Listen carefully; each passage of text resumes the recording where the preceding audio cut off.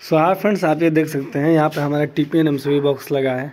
बहुत सारे ऐसे लोग होते हैं कि जब ये ऊपर से ऐसे पाइप को जो है कि फिटिंग करते हैं तो क्या करते हैं, उसके साथ ही जो है इसको भी लगा देते हैं।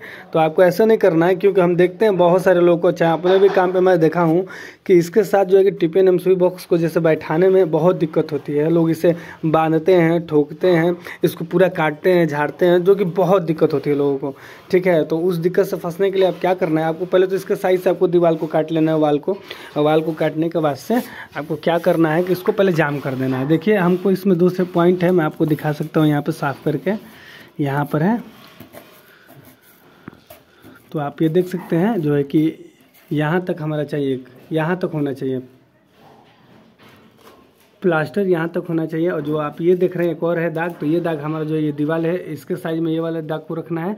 और इतना होगा हमारा जो है कि प्लास्टर होगा और इतना एक्स्ट्रा चाहिए आपको। प्लास्टर से इतना एक्स्ट्रा चाहिए, नहीं तो जो एमसीबी लगती है, वो एमसीबी अंदर हो जाएँगे और फिटिंग अच्छे से नहीं हो पाएगा।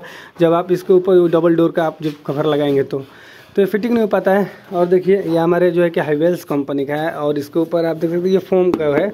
इसमें फोम दिया गया है। इसको फोम इसलिए दिया गया है कि हमारा सीमेंट का कोई भी मसाला हो या पानी हो, कुछ भी इसके अंदर नहीं जाएगा और हमारा जो है कि पूरा बिल्कुल सेफ़ रहेगा।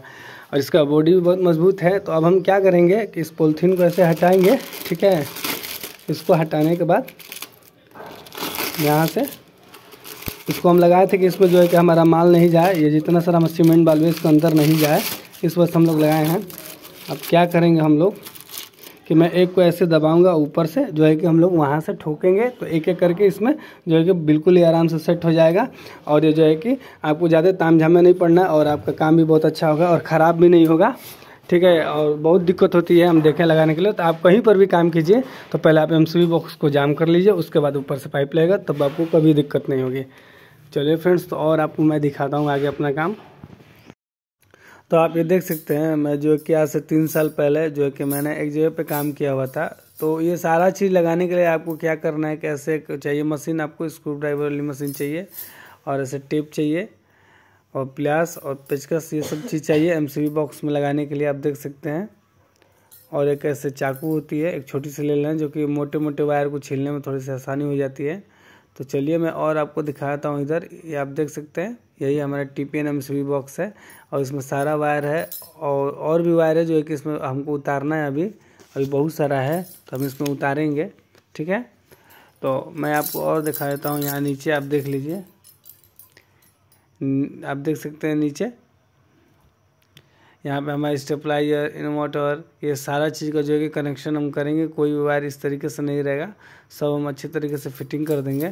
तो आइए मैं आपको दिखाता हूँ जो है कि यहाँ पे मैंने, यहाँ पे हमारा काम हुआ था तीन साल पहले। तो देखिए तो हमारा कुछ इस तरीके से दिखता है, आप देख सकते हैं फ्रेंड्स तो अगर ये मेरा काम अगर आपको अच्छा लगता है यार तो हमारे चैनल को सब्सक्राइब करें और वीडियो को लाइक करें। ये सारा काम मेरा ही किया हुआ है, आप देख सकते हैं, बहुत ही ड्रेसिंग से हम किए हैं इसको। और इसमें हमारी आर भी है चेंजर भी है, तीन ठे डीपी है, हमें सिंगल पोल के एम है इन्वर्टर पर भी लगाए हैं। और देख लीजिए, सारा वायर जो है एकदम ड्रेसिंग करके लगाए हैं और वायर को जो है कि आपको अच्छे तरीके से काट लेना है, ठीक है? तो आप भी सेम इसी तरीके से कर सकते हो फ्रेंड्स अपने काम पे। तो चलिए हम, जो अभी मैं बता हूँ, यहाँ पे एमसीबी बॉक्स के बारे में तो मैं इसकी वायरिंग में डालूँगा, ठीक है? तो मैं इसकी वायरिंग डालूँगा तो मैं उसमें आपको बताऊँगी जो है कि इसमें कैसे कनेक्शन होता है और कैसे फिटिंग किया जाता है। तो तो चलिए फ्रेंड्स तो आप सब मिलते हैं नेक्स्ट वीडियो में।